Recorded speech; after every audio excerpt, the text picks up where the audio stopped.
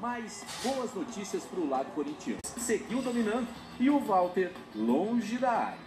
Mas placar de 1 a 0 é sempre perigoso.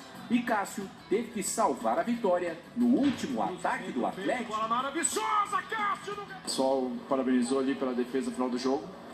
Mas é importante, é, como eu falei, é estar tá ajudando o conjunto, o time todo. Acho que quando se ganha, ganha todo mundo. Mais uma goleada por 1 a 0. Como a torcida do Corinthians com do Fábio Carilli, do Jô, do Rodriguinho e do Guilherme Arana, o melhor em campo no lendário Zero Lugar, que diminuiu o gramado, é verdade, mas não perdeu o encanto. Arana não vai esquecer do velho estádio tão cedo. Fico muito feliz, é, sempre trabalhei forte, joguei muito futebol na rua, né? Então é natural fazer esse tipo de lance aqui nesse campo, que é muito grande. Então a gente fica mais feliz e mais feliz ainda com a vitória com os três pontos. Muito bem, você falou, a gente tem até os números.